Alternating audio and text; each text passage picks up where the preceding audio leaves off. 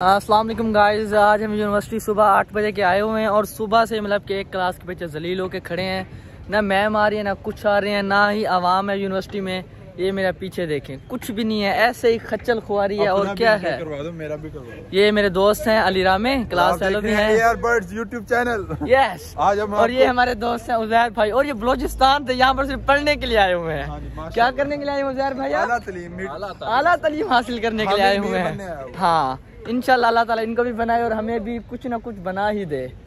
University में यार कोई सीन नहीं है यूनिवर्सिटी ये देखें आप खाली।